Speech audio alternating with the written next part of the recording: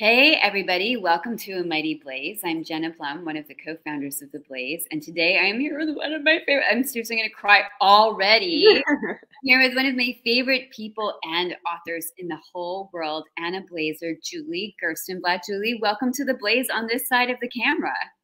Thank you, Jenna. It's fun already, and it's surreal to be here this way. I did not have to prep for this interview, I just got to show up as the talent.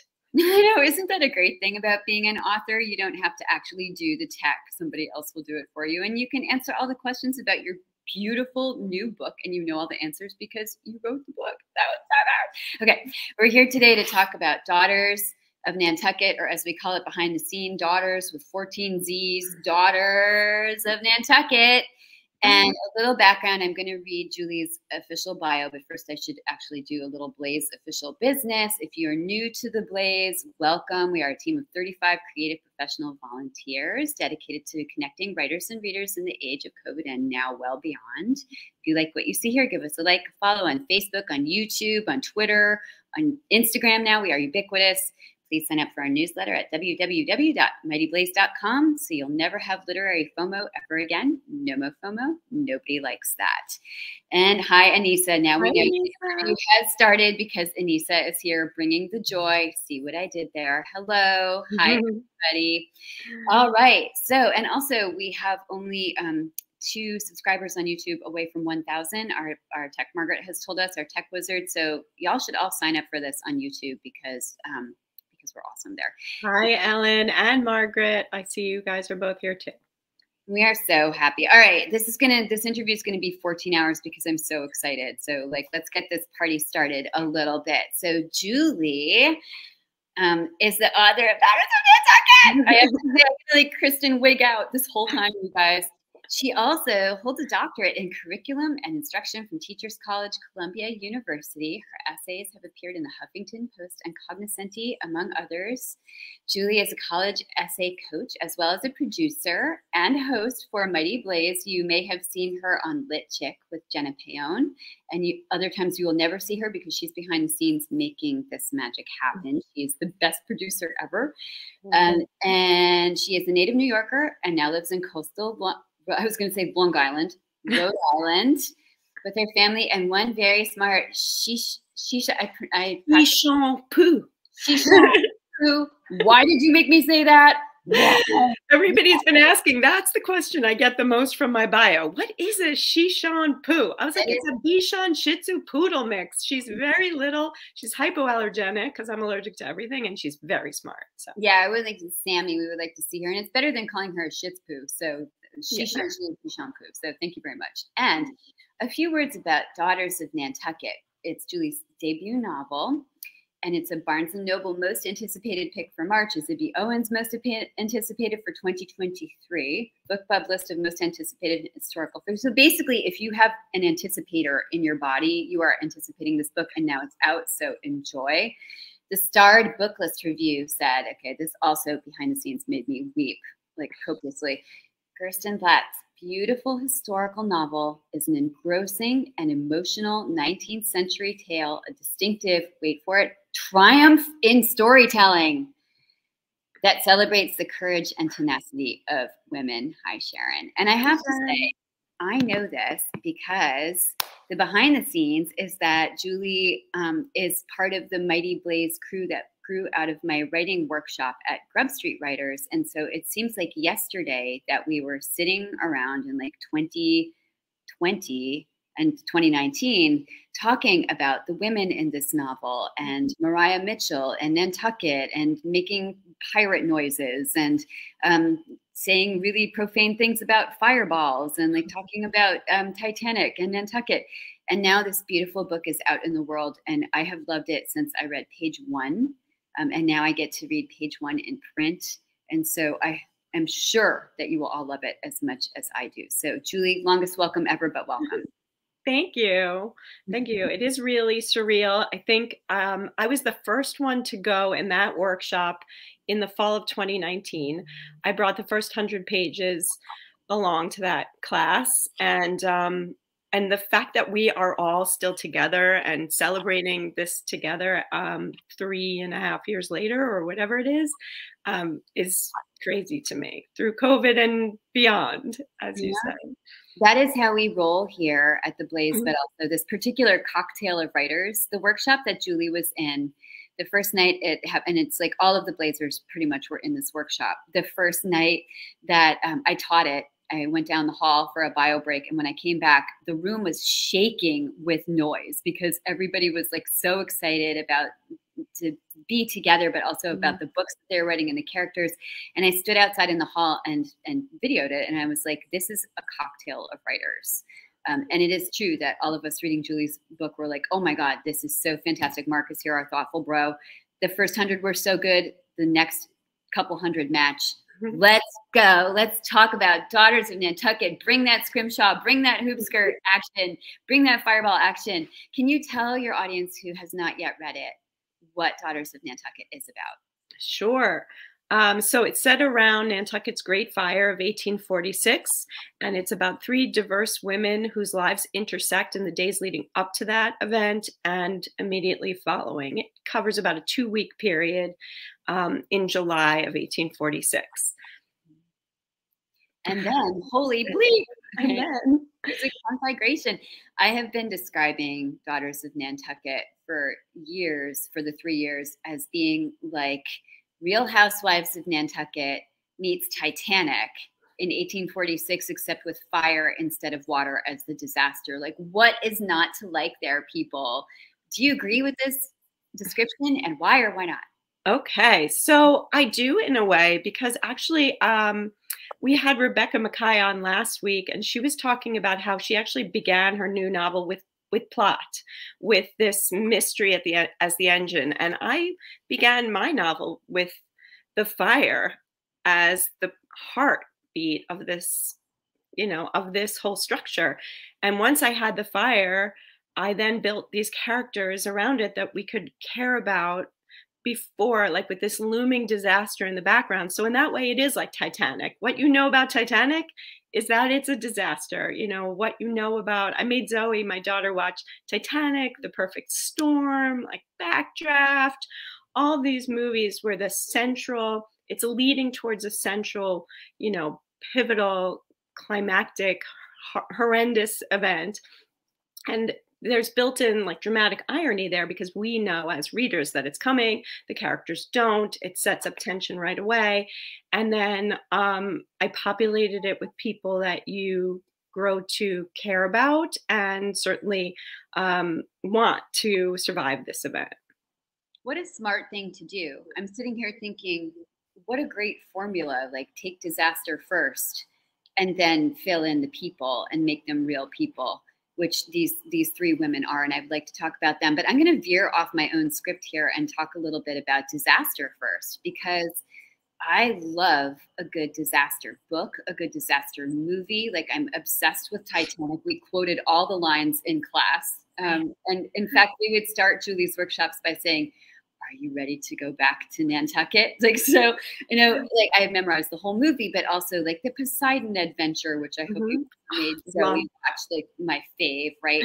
Yeah. Also, anything that has to do with the Donner Party, you know, like any sort of like cataclysmic, great Chicago fire, like whatever. Why are we so interested in disaster? Mm.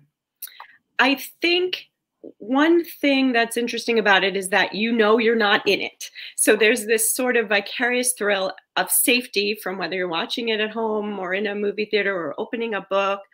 You escape your life and you get swept into something really dramatic and high stakes that you know isn't going to hurt you. It might move you. And I feel like people do, you know, engage with art to feel something mm-hmm. and to be taken away from their life, but also be reminded of the most important things in your life. And that's what I hope this book does is, you know, reminds us what would what would you take in a fire? What are the most important things in your world? Um, and are they those material things and, and those little decisions that you get so bogged down with or or are there bigger issues? That is a great point of view. When I was a little girl and I was obsessed with tornadoes, I used to play this game that was if you had only a minute to get out of the house, what would you take to take to the basement with you? So it's that same kind of mm-hmm. instinct of like, what can I save here and how can I do it? How can I escape this disaster? What would you take? What did your own book teach you about what you would take? So eh, if I had to take, I would take, I would take Sammy. I would make sure she made it out safe, safely because she isn't capable of doing that on her own. Um, I would make sure you know, my family was out. And if I took a physical thing, it actually would be my Nantucket basket. Um, I I got it as a gift from my aunt um, for my bat mitzvah in 1983. It is now an antique. It's a one of a kind piece, and it was made for me and has my name in it. And now with this book, it has so much. Um, you know extra meaning to me and it links me to a place that i love and the people that I love. My my mother has a Nantucket basket. My aunt, my grandmother. We bought my daughter one when she was born too. So there feels like family legacy, and that we are all daughters of Nantucket in my family. Oh, I love that. Stop it. Stop making me cry. Stop. It's so funny because we have been friends for years. Like we were friends even before mm-hmm. that class. And and yet I did not know the lineage of the basket in your family or the symbol. Do you have it with you? I should have asked you this before. I we- don't have it with me. I am wearing a golden basket though. Um, and I should I have it in like another room, but we don't really want me getting up and going to find it. But you can watch if you if you follow me on Instagram. I did a whole video, like a a 60 second video of my basket where I hold it up, I open it up, I talk about it for a minute. And this has a little heart on a, on a chain dangling from the open basket. Last night, Kimberly wore her basket, mm-hmm. and uh, my mom wore hers as well. So.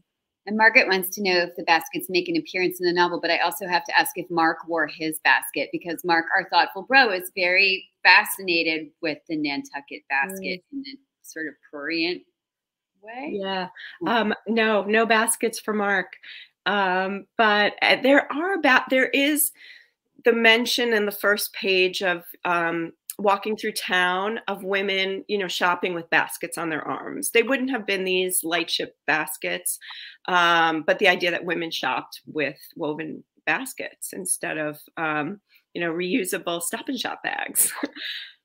it's kind of like the same thing as the reusable stop and shop bag, except totally not. So I'm gonna I'm gonna land on basket a little bit longer because not everybody knows what a Nantucket basket is, and they're not just like regular baskets, y'all. Like for those of us who have Midwestern roots, um, there are like Amish baskets or these hand woven baskets from like different regions of the country. I know in South Carolina they have them too from like the rushes and reeds. But can you explain a little bit about why this is important? Like what what even is a Nantucket basket? Sure. So it's actually called a Nantucket lightship basket. A lightship, if you don't know what that is, is a um, like in the harbor instead of a lighthouse that's on a rock or on a edge of land, a light ship is sending that ship with a light out into the harbor as a warning to people not to come too close to, you know, a, a shallow shoal or, or, rocky terrain. And so, if you were, um, and they were all men, if you were a man sitting on a light ship it, out in the harbor for months and years on time, doing nothing, not even moving on that boat, you needed a hobby. So that hobby was making a basket, um, weaving them, and then um, they have tops on them, and they're it's like a rattan woven work of art, and that's where the Nantucket lightship basket came from. People carving them, making them not carving, weaving them on Nantucket lightship, of the one Nantucket lightship. And the men did it. Yeah. Yeah, okay. men. This is fascinating. So, do men and women still both make them, or is it a, a... I think it's an art. Mine was made by a man, Michael Kane. Um, there's also Jose Reyes was one of the first to make. Take to make Excuse me. I'm so sorry. No, you're totally fine. I know Julie has had back to back to back to back events, and this happens to me all the time. When I'm doing events, you start coughing. Go, go, go, go. I will talk instead um, while while Julie is getting some water. I think I should bring Trisha on a little bit. Actually, Trisha, do you want to tell? Um, can you like put yourself on? Should I put you on? Hi. Okay, so you guys will know Trisha as another blazer and author. Her book Herrick's End is out in T minus two weeks and not counting. But while Julie is like getting her throat soothed, can you tell us about her launch last night at Wellesley? Yes, it was awesome. There were 50, 60 people there. And there were people like knitting and all kinds of stuff. Basket weaving. Um, and this woman raised her hand and said, I just want to tell you both, meaning Julie and Whitney, who was interviewing her, Whitney Scharer, that you are both so charming and you should have a TV show. And I am enjoying this interview so much. And um, Julie made me cry three times by all the wonderful things she said. and she had us all in tears. It was a wonderful event at Wellesley Books. And they might still have some signed copies if anybody wants to check. They do. Thank you, Trisha. I'm so sorry. I just like no, no, no. Take your time. I know this is like, and and Julie's. This is her first book, and I should have said like, okay, keep honey lozenges with you all the time while you're doing your speaking because it does. And she got her basket too. readers and your basket. And can I, before we do basket, Trisha, do you have? Trisha was also in our magic workshop um, yes. as an author, and um, do you do you have any comment about like the process of seeing this book out in the world after workshopping it? It's just like I, I, have no words. It's it's such a wonderful experience. I, I, was telling someone last night, Chuck, who's also in our, our group, I said, when any one of us has a success, you feel like we all have the success because we all like had a hand in it in a small way. I mean, obviously she did the bulk of the work, but you know, we all you know, maybe changed yeah. a line here or there or had a suggestion that made it better. You just you you feel a weird ownership over all of them and everybody was just so great and supportive and constructive. It was great. Yeah, I do feel like the class made this book happen. Even if I had the idea and I brought it to the class, it was like what you guys, what you all did to help me see it more clearly that got it to be published. Right. I love this class so much. I love you guys so much. Okay, I'm going to stop. Thank you, Trisha. Thank you for coming on. I was so excited. Congratulations. Watching your book. We're watching you. Oh, wait, give us. Oh, never mind. She's off now, but we'll do that at the end. I'll, I'll make her come back on and talk about it. Okay, basket pivot. Okay. This is the Nantucket Lightship Basket, people. I feel They're, like home shopping network now. they Nantucket. can be right. They're round or oval. Um, and they're made around um, a bait, uh, like there's like a thing, and then you weave around it, and then you take that thing out, and then my name in purple, Scrimshaw. Oh, that's so cool. What? Ivory. Um, purple was my favorite color, and as you can see, it worked out well with my book because purple is still one of my favorite colors. And whether we can argue whether it's purple or blue, and then a 1983 penny on the bottom to authenticate the year in which it was made. Um, and then it's signed by Michael Kane. So your question was um, men or women making baskets. I believe, it, you know, I know it began as a craft for men, and many of the more famous weavers at the time and through the early 2000s maybe were men. The, and women, the art that women were doing would be the scrimshaw and the beautiful carved. My mom has like a, a nature scene on hers.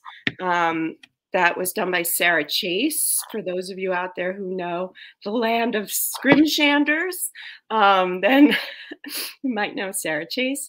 And um, now, though, um, there are weavers who are taking the basket art and making things like bracelets and smaller and more like usable clutches and other kinds of um, woven art, like my friend Bridget Wyatrowski from Whale Tail Weaving, and I love the bracelet I have from her. She was like the weaver in residence at Hadwen House last summer. So it's still it's still a beautiful art and it is alive and well amazed. We should get Caroline Leavitt, our other co-founder, some little basket earrings, which she would love. And also Mark and Joe Moldover, it's not too late for you guys to start weaving baskets. you might want to get on that a little bit. Blaze Boys Weave. Let's just make that a hashtag. Okay, so I did like I love the sort of real housewives aspect and like home shopping network aspect of this book. And you know if HSN had been around in 1846, like Eliza and well, actually, Eliza would probably be the only one watching it out of your three uh, sure. protagonists. But can you tell us about the three women and how how they're like who are they? How are they alike? And then how are they very different? Sure.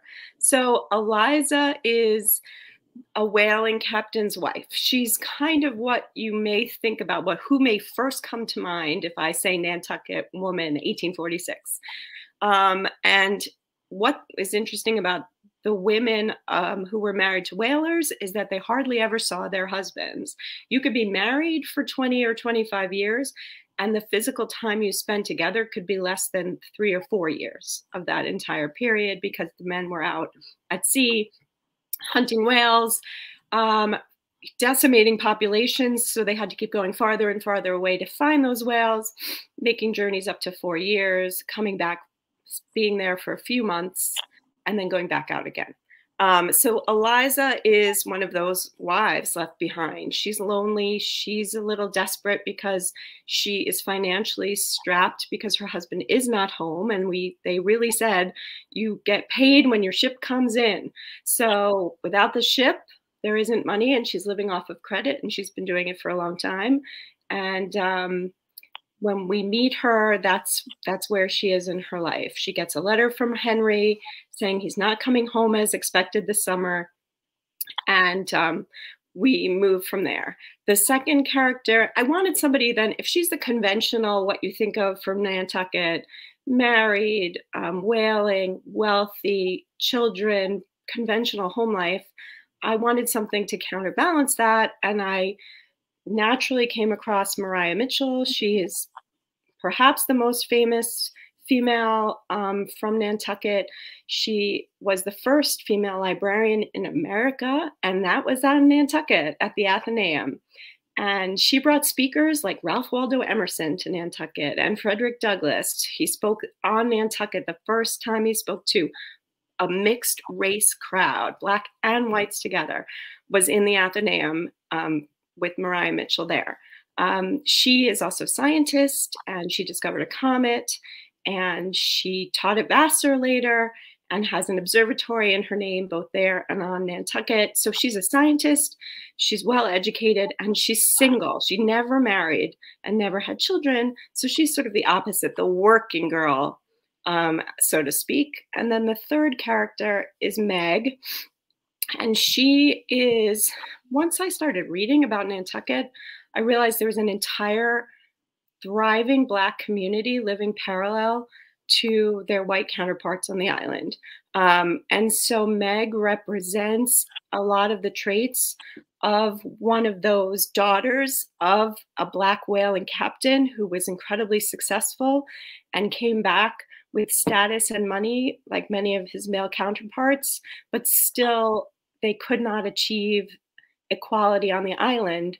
And she's fighting for her daughter to be able to have what she never did, which is an equal education.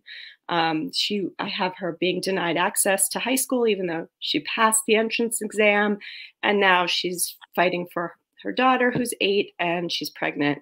And she and her husband are business owners trying to open a um, their shop on Main Street. Thank you. That was so concise, and they're such complicated and nuanced women you can hear how different these women are um, demographically, even though they all live on the same tiny island, and then their lives intersect in this very pressured way during the fire. So I would love to talk about the fire a little bit and how, because you said you started the book by thinking about the fire. How did you find out about it and what sort of wiggled your ear about it being like, oh, this is maybe the, the book that I want to write? And can you tell us a little bit about the fire? Because I love to hear about the fire. Yeah, since you just met Trisha and she came on, I will tell you that at one point I said, Oh, I can't get to the fire. I keep writing and writing and writing, and I can't get there, and I want to write the fire. And she's like, So write the fire like make a leave a gap like skip over whatever you haven't done and write the fire. And that might actually inform what you do earlier. And so i did that which was the best advice. And because i had started with that in mind but i knew it wasn't the first thing to happen so i kept trying to write to it and it kept moving farther away. Um, so that was um, those 100 pages that i wrote about the fire are pretty much the same as they are today. That's the least amount of editing that I did. Um, and I first learned about the fire from Nathaniel Philbrick's History of Nantucket. It's called Away Off Shore.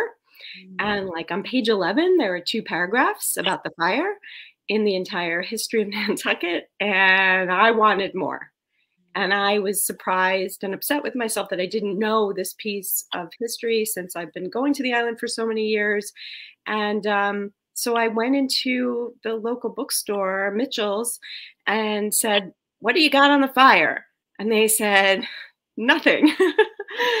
um, and then I went, Mitchell's, there are two bookstores, they're co owned. And I went to the other bookstore, and they did have one copy of um, a self-published history of the fire by V.B. Gowdy, and I read it, loved it, and was hooked. And that's that was it. That's where the fire. Eh, he he did he compiled a perfect timeline of where everybody was, all first-person accounts. He read newspapers. He went to town hall. He did all the research that I did not want to have to do, and then I could create around it.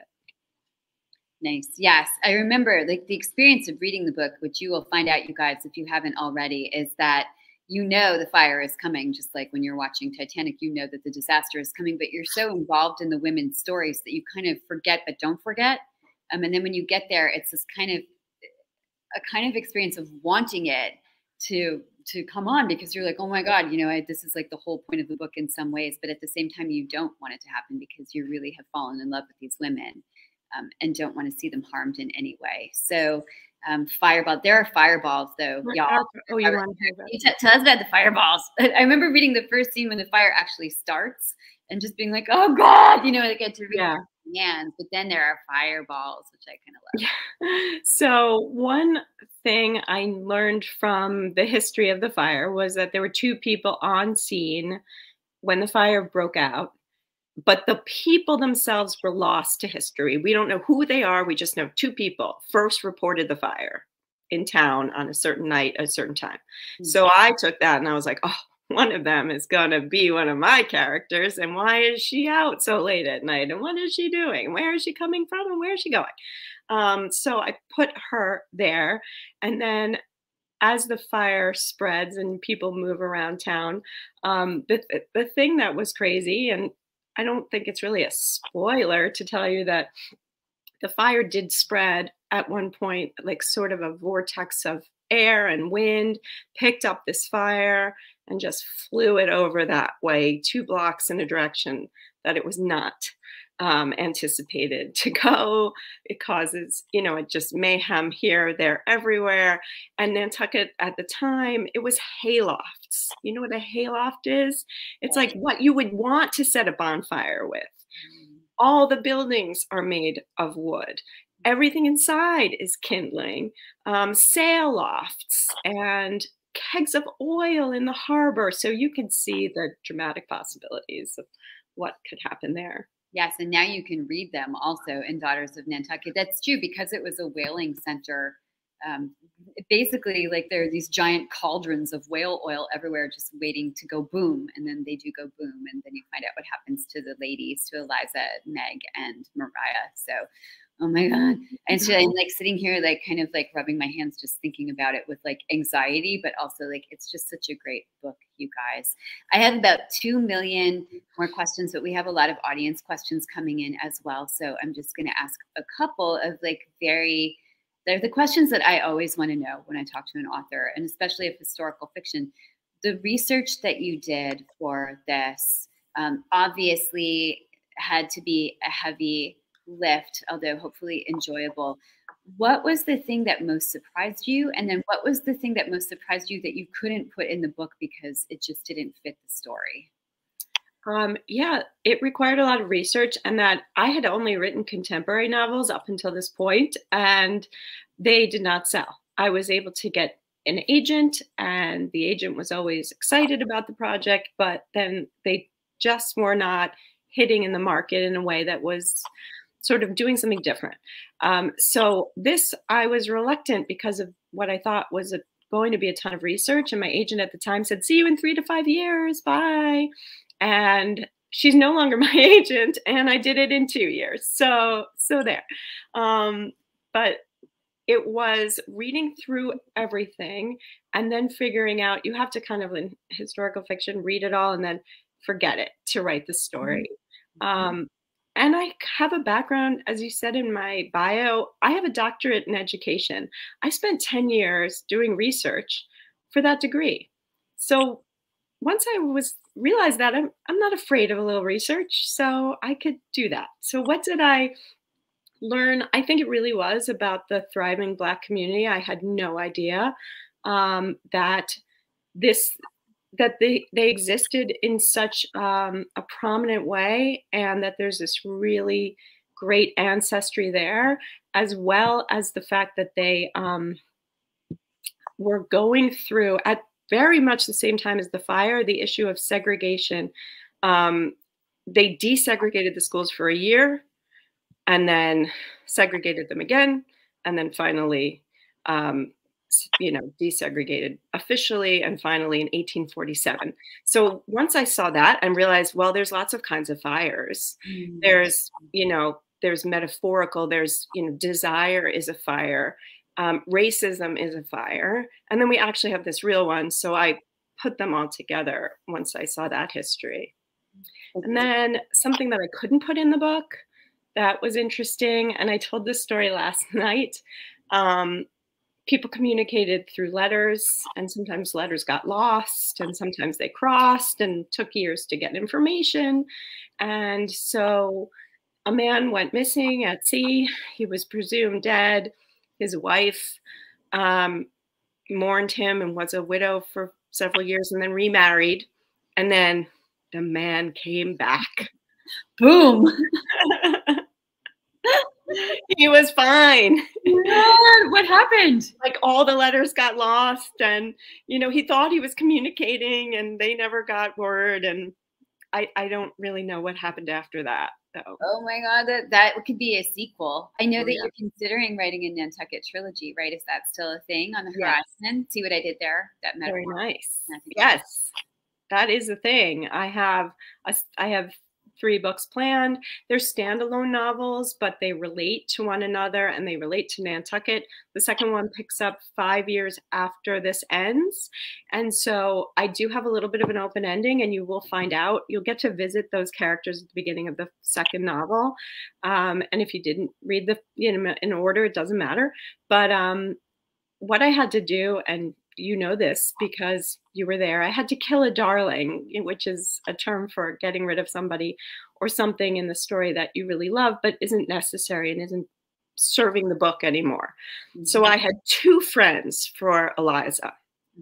And I gave, every, and one was not a point of view character, and the other was Maria, who was. So I took this other character out of the book and gave all the friendship qualities to Maria instead. And now there is one sentence in the book that says Nell Starbuck, who was was Eliza's best friend, is circumnavigating the globe with her merchant husband Peter. So the second book is Nell Starbuck packing for a journey with Peter and their daughter Winifred, and a global shopping spree on a clipper ship. Okay, what about that does anybody not like? Like you had me at global shopping spree. So fantastic. But also, again, there's a sort of winning combination of that luxury or like the sort of lusciousness of of one element of the book and then peril right? So in this mm-hmm. book, we get the women's lives, which would be interesting even if you didn't have the Great Fire, because Nantucket is such an abolitionist seat, and it's kind of like the Isle of Sappho's with the men being gone. Like you have a really um, mixed demographic population because people keep coming in from other countries and then staying there. Like it's a fascinating place. And then, holy bleep, as you said in one of your notes to us in workshop, there's this big fire. And I feel like the second book is the same way, where you're like, I get to travel around the world with these characters, shopping in the 1800s and seeing these fantastic markets and so on. But you're going on a ship, you're going on a wooden ship. Mm-hmm. What could go wrong? So again, I think this is like your your really winning formula here that I intend to try and, and steal um, yeah, completely organically. Okay, so we have a million audience questions, and I would I have many of my own still, but let's let's appease the readers and viewers, please. Thank you so much for joining us, you guys. Um, what have we got, Trisha? Let's let's pop up one of our first questions. I'm going to read these out for people who are listening. Ellen, one of our other Blazers, our Twitter queen, says, Are you writing full time? If so, how do you structure your day? And if not, what is your day job and how do you squeeze in time to write? Great question, especially for a touring writer, because then like everything is off the table, right? Oh, yeah. Everything's off the table. So, hi, Ellen. I um, I help kids write their college essays, and that is um, a sort of full time job for about six months of the year. It starts in June when students get out of school and goes through November or so when they apply to colleges. Um, and the rest of the time, I am writing three to four hours a day, three to four days a week. Um, but right now, I'm just talking about this book and partying and celebrating it and wearing clothes that match the cover. As you should. And there have been several comments in the chat about your dress like a cover game, which is very, very strong. Would you like to tell us about your ensemble today and also where you got your dress for your launch, which had like gold coins all over? Like, thank God they didn't give you a book cover that was like chartreuse or yeah, orange. That would have been bad for my for my color.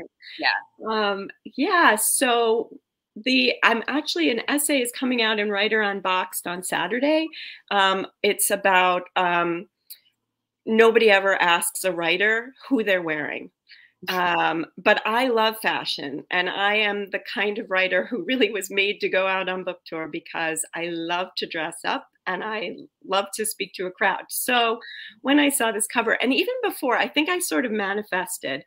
Uh, I thought it should be blue and gold. I thought blue because of the ocean, and gold because what the what whale oil was called was liquid gold. Um, and someone was, you know, smart enough to, to figure that out and made the whale on the cover gold. Um, so with those colors in mind, I went searching on the internet and I found this dress. The, the um, designer is Solani and the dress just sort of, I know what size I am. I can buy it in all different color combinations.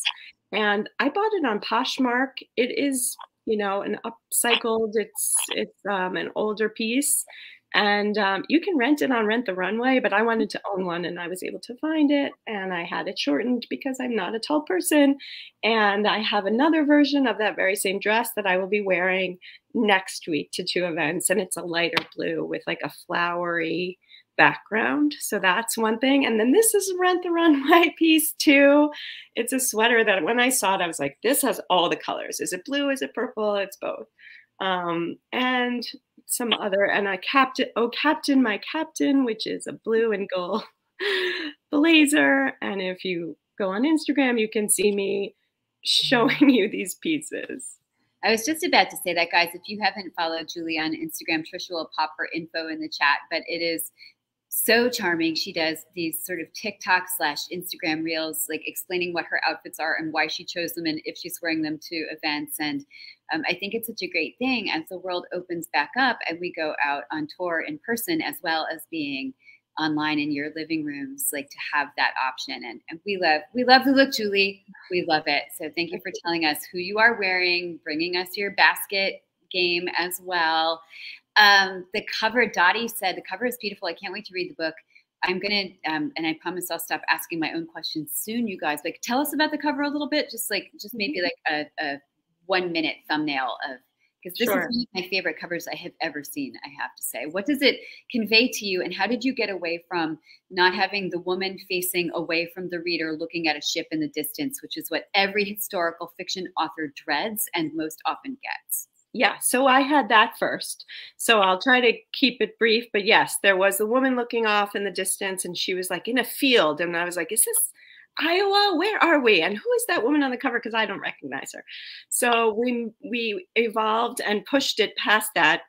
And then they realized that three women on the cover looked busy and perhaps they should do something more graphic. And what they called it was a big book or book club, book club fiction cover and actually decided at that moment that this book could become something bigger based on what they were going to put into the artwork alone like the um, the thinking and the um, design so um, i love that it has this the you know bold colors and the whale's tail. And what a friend said to me was, there's movement. Mm-hmm. It, there's action on the cover. Um, the water is moving. The water, you know, feels like that. And the women are up there on the whale's tail. So there are three women there. And then they're echoed in the ship where the men would be. There's three sails on the men's ship. So I just love the way it does feel um, big and bold. And it also works with the title in terms of telling you who and where, mm-hmm. um, which is a com- commercial fiction sort of thing. The Lost Girls of Paris, mm-hmm. the something in other library, the Paris Library. The so you know who and where, and you might grab it just based on that. That's such a fascinating insight into the sort of sausage making of like what goes into alchemizing a book from a manuscript into an actual book. And now, from now on, if I write historical fiction, if they're going to put a woman looking away with a dress, I'm going to be like, oh, you don't think this is a big book? Let's have a little chat about that, shall we? And the original title for the book was A Great Fire, or The Great, The Great Fire, A Great Fire. Mm-hmm. It was A Great Fire. And that's when I uh, got my agent. It was called The Great Fire. She asked me to write a prologue, and the last sentence of the prologue says, Every great fire begins with a tiny spark. Now all we need is Nantucket to light the fuse, something like that. And she's like, How about a tiny spark?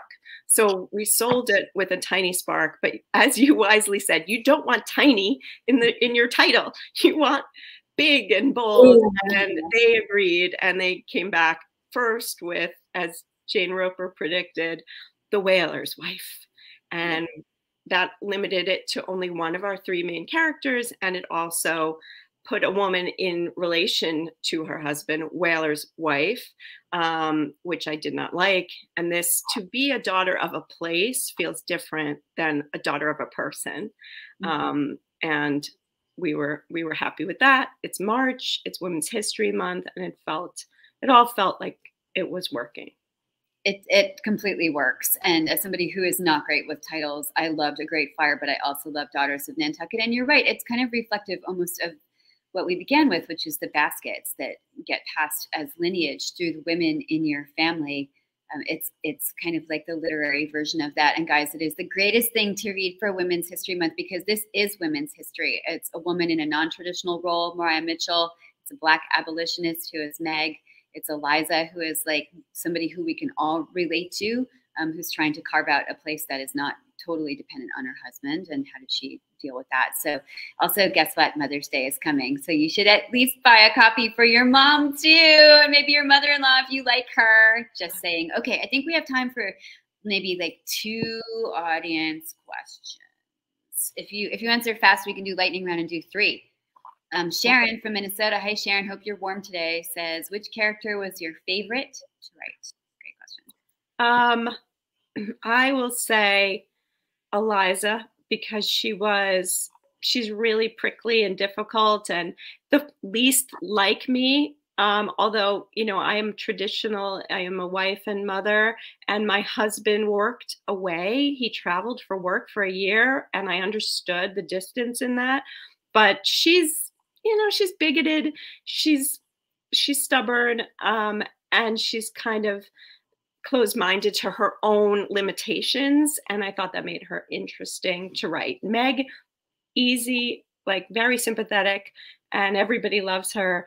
And maria was challenging because she's a true person from history so i had to do that justice but also have fun with her. Hmm. how do you do that? How do you balance writing the actual person with um, her entering into your historical fiction. Yeah, so there's a there's a painting of her in the library, and she's looking very stern, like the librarian who yells at you if you talk in the library, and that's what I grew up knowing of her. So I had to really shake off that historical Maria and understand that she was a woman like anybody else, and she must have had secrets and desires and wants and wishes. And um, st- I started to feel closer to her as I wrote into that and worried less about um, factually what we know. There's actually a gap you'll learn about in the book why there's a gap in her history. We don't know what happened or what she thought that year. And so I was able to make it up, which was freeing and it is fiction after all. Mm-hmm, mm-hmm. Good. Excellent. Okay, let's have another question, please. What do you know from Anissa now that you wish you had known before starting this beautiful book? Thank you for the question. Um, I don't know. That's a good question. I think I now know, and that's what it took this book for me to understand that I like writing heroes' journeys. That sorry, Mark is it like, is. It is from Mark. Yeah. It is from Mark Cecil. I thank him twice in the back of the book. Once, really particularly for introducing to me the notion of the hero, or we should say, heroine's journey, and that I like those quest stories and will continue to write them. Um, and that just gives me confidence that I can do it differently, but again. Mm-hmm. Love that. Thank you. Okay, you're doing very well with the lightning round questions, I must say. Trisha, do we have another question from our audience? Audience question How long did the book take to write? Only like 10 days, right? Yeah, just 10 days. Um, I did, I restarted doing research in the um, fall of 2018, started writing in the spring of 2019, and finished two years later, spring of 2021. Um, I think two years, I would have maybe written it that long in that amount of time anyway, but COVID really did accelerate or at least keep me from being able to do anything else except write this book. And I know other author friends were fruitful during that time too. Mm-hmm. We all we need as writers is a pandemic that doesn't kill anybody, but releases us from our obligations and also the need to wear pants. And so there you go, right? It's not a bad thing. Okay, so we're almost out of time because I've kept you for almost an hour already, but I'm going to ask a two-part question, which an interviewer should never do. And one is, can you tell us about your upcoming um, tour and where people can see you in person and get their book signed? And also, what do you want to say to your brand new audience of fans and readers? Yeah, so like I already forgot the first part of the question. Oh, um, where can you see me on tour? Um, yeah. Go to my website, juliegerstenblatt.com. It has events and it has links to those. Um, and I update that regularly. That's the best way to find out. Like someone, a bookstore just contacted me and said, Can we move your thing? So, you know, if you have it written down from last month, just check. And get, as things get closer, I will be, um, let's see, the in Inkfish Books in Warren, Rhode Island um, next Thursday. And then in Scarsdale for my New York part of the launch, Scarsdale Library on Sunday, the 26th. And then um, locally also at a, an unlikely story on Wednesday, the 28th of March, question mark. I think that's right. So check those out. And then tons of other things throughout the spring. I'm going to Milwaukee, I'm going to Chicago, I'm going to the suburbs of Chicago and Lake Forest, and um, I will be on Nantucket twice for Daffodil Weekend and the Nantucket Book Festival. And then again, for my own family vacation, which I think I'll probably also be doing as a book tour yeah the thing is now that you're a novelist and, and an author you never have a vacation ever again because anywhere you go that has a bookstore you're like oh i could do an event with that bookstore and but that's not necessarily a bad thing. Uh, guys if you're in the midwest can please check out julie's website no matter where you are actually because she is going to get around. Mm-hmm. um, and so if you're in the midwest though you can go see her in chicago and milwaukee which i would certainly do. Those are great reading series as well. And the second part of the question um, and really, the, the final question is what do you have to say to your brand new audience of fans and readers? I just would say thank you. I have been so overwhelmed and delighted by everybody's response to the book. It's interesting. Up until Tuesday, you know, only a few people had read it. And now people are texting me to say, I read the prologue and I'm already hooked, or I'm halfway through and I can't put it down. And it's just really, really beautiful to have that conversation and that relationship. And I'm looking forward to meeting more people and then joining book club discussions and getting into the nitty gritty. I was an English teacher after all, so I love a good, you know, book talk. So that's what I'm most excited about connecting with readers. Oh my God. I, I almost made it through the interview without getting teary. So thanks a lot, Julie. Um, yes, and I'm sure you can contact you via your yeah, website. My well. website, there's a form. It looks kind of like, where's this going? It go, comes right to me. I will not miss it.